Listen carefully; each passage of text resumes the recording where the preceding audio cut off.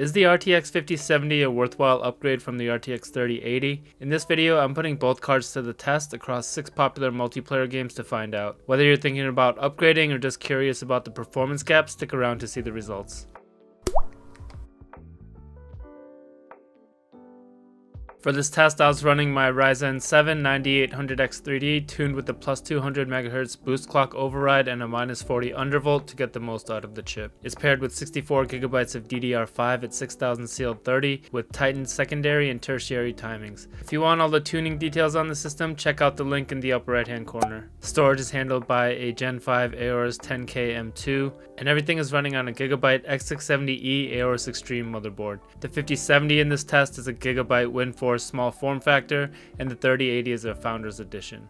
I pushed the graphics settings as high as possible in each game and tested at both 1440 and 4K native. Most competitive players won't run games this maxed out, they'll be lowering settings for better FPS, but here we're focusing on raw GPU capability to get a clear comparison between the two cards. Think of it like comparing cars on a racetrack. Each game is like a different racetrack and the performance results or the FPS numbers are like lap times. They give us a solid way to compare relative performance, but they're not meant to predict exactly what FPS you'll get in your personal personal setup or your preferred settings. So keep that in mind as we dive into the benchmark. These are controlled maxed out scenarios meant to highlight the true performance gap between the 5070 and 3080. Starting with League of Legends, I went into a live match and ran the very high graphics preset in 1440, the 5070 showed a modest 8.5% boost in average FPS, but a more noticeable 18% uplift in 1% lows and an 11% bump in 0.1% lows. At 4K, the improvements were more consistent across the board, about 9 to 9.5% gains in average and low frame times.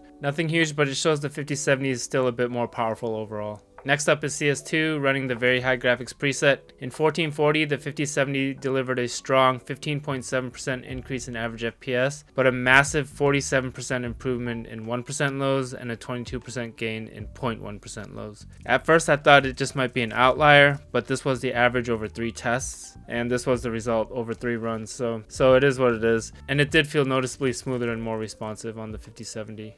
At 4K, the gap narrowed a bit. The 5070 was about 10% faster in average FPS and 3% faster in 1% lows. Next up is Hunt Showdown. I ran the Ultra Graphics preset for this test. I ran a set route through the firing range for consistency. The 5070 pulled ahead decisively in 1440. There's a 17.2% boost in average FPS with similar gains in lows, nearly 20% in both 1% and 0.1% lows. In 4K, it's even more dominant, 20 to 22% gains across the board. So if you play Hunt and want want better stability and headroom at higher resolutions, the 5070 is a clear step up here. Moving on to Rivals, I use the Ultra Graphics preset for this game. The tests were run on live domination matches on the Frozen Airfield map. In 1440, you're looking at 11.8% higher average FPS with about 15% better 1% lows and a 10% improvement in 0.1% lows. In 4K, the 5070 stretches its legs a bit more, 15% faster on average, and especially strong in 0.1% lows at a 21.4% advantage. This helps to reduce stutters during heavy effects or fast action.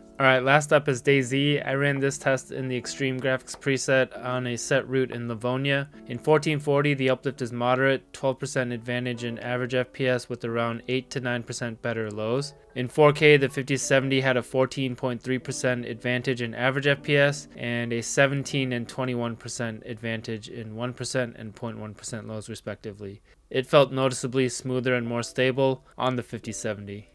Looking at temps and power draw across all testing, the 5070 averaged around 170 watts, while the 3080 pulled about 263 watts. That's nearly 100 watts more on average. In terms of temps, the 5070 ran much cooler overall as well, averaging around 59 degrees Celsius compared to 71 degrees Celsius on the 3080. The 5070 is significantly more efficient, both in terms of power usage and thermals. That's not too surprising. While raw performance gains have been modest over the last few generations, efficiency has taken taken a big step forward. This is something to keep in mind if you're planning a smaller build, something with a lower noise target, or just want to reduce overall system power draw without sacrificing performance. So if you're putting together a new build or considering an upgrade and you play any of the titles tested here, how do the 5070 and 3080 compare? Right now, the 5070 is one of the few GPUs from the current gen lineup that's actually selling close to its $550 MSRP. After all this tariff stuff, actually the lowest price I'm seeing now is around 600 depending on the model in stock. On the other hand, a used 3080 10 gig is averaging around $400 on the secondhand market, making it a strong value pick, especially for 1440 gaming. Performance wise, the 5070 delivers a 10 to 20% uplift in the games I tested here, but if you already own a 3080, that jump to me isn't worth paying one and a half times more unless you're upgrading for very specific reasons. At that point, I think it's probably better to wait and jump to something like a 5070 Ti or 9070 XT. The 9070 XT at its original $599 MSRP at launch is a no-brainer, but realistically those are now trending closer to 800 to $1,000, putting them more in line with higher tier upgrades.